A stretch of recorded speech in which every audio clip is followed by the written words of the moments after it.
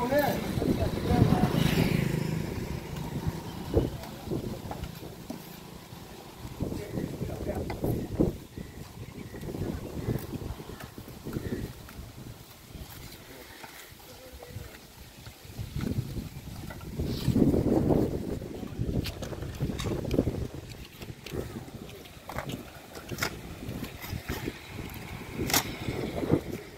సాంబిలమా అంత అసికే మా బావ పనిచేయాలన్నారు వాళ్ళ